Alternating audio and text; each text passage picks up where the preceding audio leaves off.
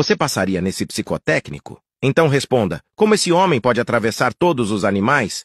A canoa só cabe dois por vez e ele não pode deixar uma das ovelhas com o lobo, senão irá devorá-la. Vou dar um tempo para você.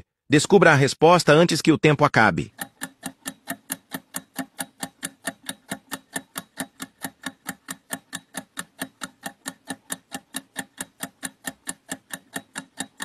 Tempo finalizado, você descobriu a resposta?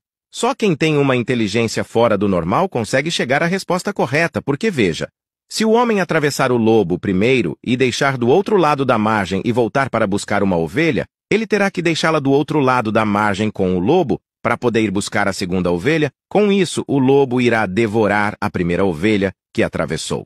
Diante dessa questão, como você responderia a esse psicotécnico? Deixa aqui nos comentários, eu quero saber se você tem uma solução para essa questão. Já compartilha esse vídeo com aquela pessoa que vai fazer o psicotécnico do Detran.